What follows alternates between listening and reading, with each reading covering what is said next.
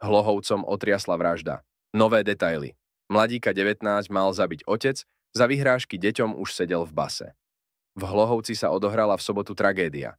Do jedného z bytov privolali okolo 20-30 vradiach záchranárov, našli tam dobodaného mladého muža plus 19. Ako informuje polícia, podozrivého sa im podarilo vypátrať a obmedziť na osobnej slobode. Má ísť o jeho otca. Polícia smrť mladého Hlohovčana vyšetruje ako obzvlášť závažný zločin vraždy.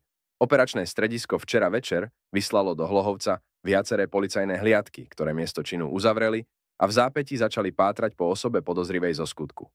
Policajtom sa už krátko na to podarilo, nedaleko od miesta udalosti, nájsť podozrivého 46-ročného muža.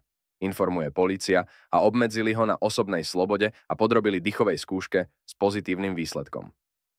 Policajti kriminálnej policie sa prípadom začali i hneď zaoberať a na mieste vykonali všetky potrebné prvotné úkony.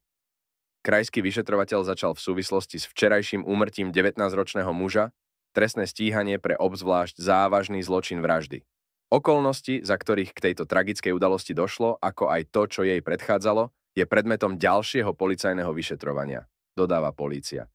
19-ročný mladík mal mať zasiahnutý hrudník a brucho. Mladíka mal zabiť jeho otec, mladíka mal zabiť jeho 47-ročný otec. Policajti ho chytili zhruba 200 metrov od obytného domu, pri futbalovom štadióne. Do redakcie Topiek sa ozval čitateľ, ktorý tvrdí, že útočníka pozná. Ten človek, čo zabil syna v Hlohovci, bol môj známy a bývalý sused, s ktorým som sedel v base. Hovorí a prezradil, že v tom čase sedel za vyhrážky podrezania svojich detí, o čom v roku 2014 aj informovali médiá. A minulý rok na Vianoce sa jeho syn dobíjal k nám do vchodu – kde býva jeho brat.